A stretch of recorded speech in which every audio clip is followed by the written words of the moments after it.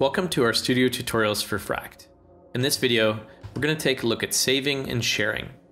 One of the things we're really excited about in Fract is seeing and hearing what people come up with in the studio. We've built some tools that allow you to save, load, and even share your songs with others. So, for starters, let's take a look at loading songs. I'll start by loading a song I was working on. You can do this from the pattern sequencer here. Now, let's say I wanted to make a few changes and save them. I could go ahead and do that here. Uh, maybe give it a new name. Or optionally, I can also overwrite the original as well. And it'll give me a little warning. So each song file contains all of the sequences and patterns in the song as well as the synth settings or presets for all three synths in the studio. And actually, speaking of synth settings or synth presets, you can also save and load individual presets to be used in your compositions later. Here, let me show you. So I'm going to load one of Mogi's bass synths. And there it is. Saving works the same way.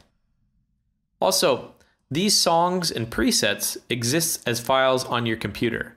This allows you to share them easily with other Fract users.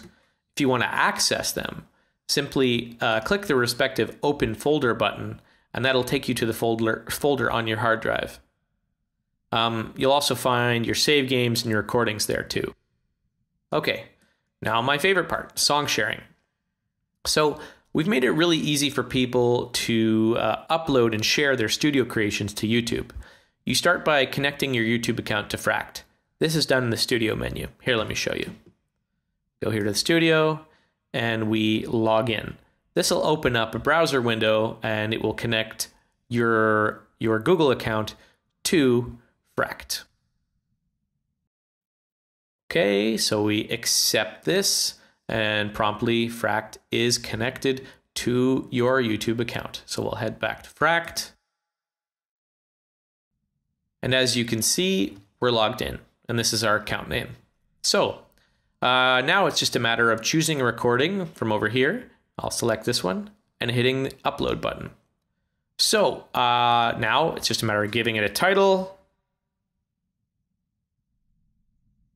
and choosing whether it's listed or not. So here we go. Uh, the video is encoding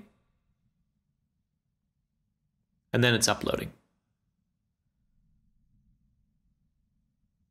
And there you go. That file is now up on YouTube, probably being converted as we speak. And it will be there if you want to make any changes whatsoever to the title, the description, or what have you. And that's how easy it is. So, just like that, you can share your Fract creations with the world. We're super excited to hear what people come up with, from the most ornate compositions to the flat out wacky experimental synth jams. We just can't wait to hear it all. So that covers saving and sharing. Have fun making stuff. Thanks from the Fract team.